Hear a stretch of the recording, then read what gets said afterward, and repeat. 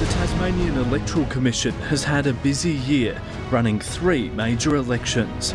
The worst possible time for it to be hit by a cybersecurity attack. From today, they say they'll be worse off after Sunday penalty rate cuts come into effect.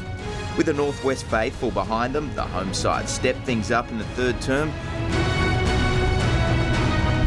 You can rely on Southern Cross News.